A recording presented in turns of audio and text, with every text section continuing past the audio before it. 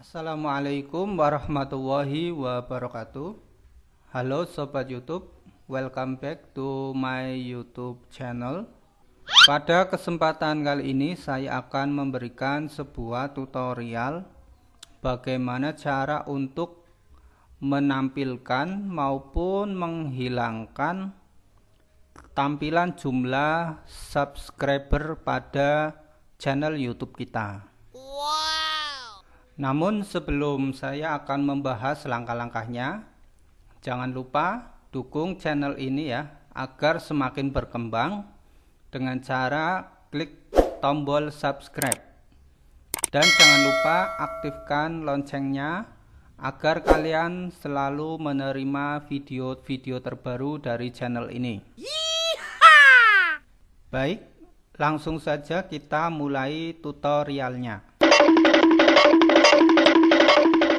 Kali ini saya menggunakan HP Android Xiaomi 4X.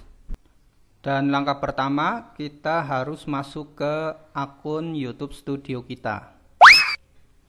Di sini saya menggunakan Google Chrome. Selanjutnya pada baris alamat kita ketikkan kita ketikkan studioyoutube.com ya.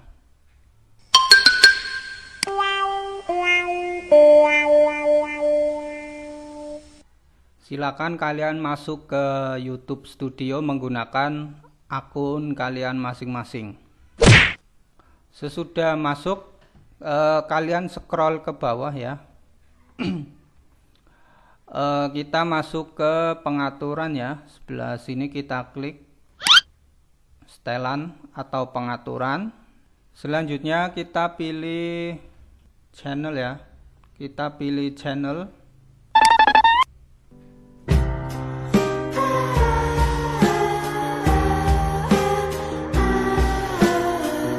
di sini ada menu info dasar, setelan lanjutan, dan kelayakan fitur.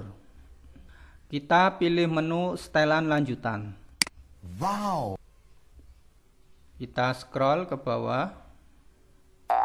Nah.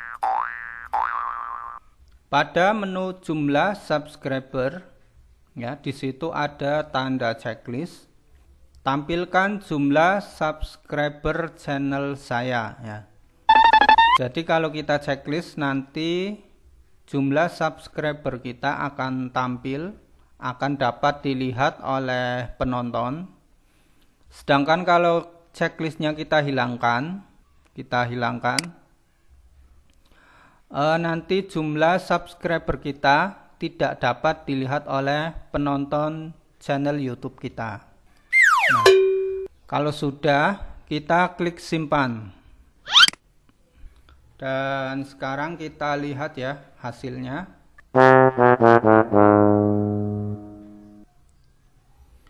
Kita buka aplikasi YouTube kita. Selanjutnya kita cari channel YouTube kita. Kita lihat profilnya. Nah, sekarang jumlah subscribernya ya sudah tidak tampil ya atau tidak muncul. Nah, seperti ini. Dan kalau kita ingin mengembalikannya yaitu kita kembali masuk ke YouTube Studio ya. Kita kembali masuk ke YouTube Studio.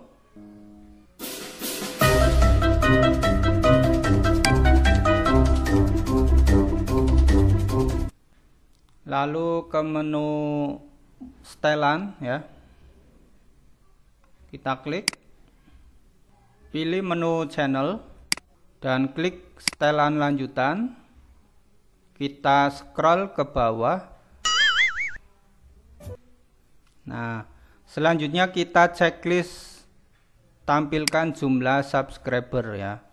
Nanti subscribernya akan dapat dilihat oleh penonton kalau sudah kita simpan, sekarang kita lihat ya tampilan YouTube kita. Kita refresh. Nah, ini jumlah subscribernya akan tampil ya.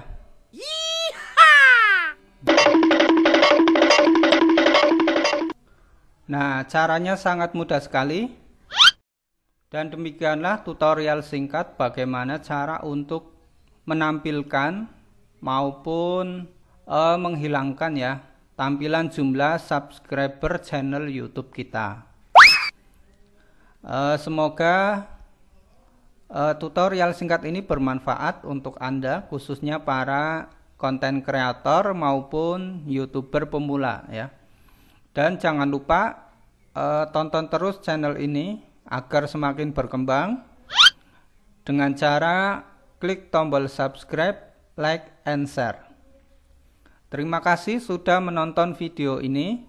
Tetap semangat dan jaga kesehatan. Wassalamualaikum warahmatullahi wabarakatuh.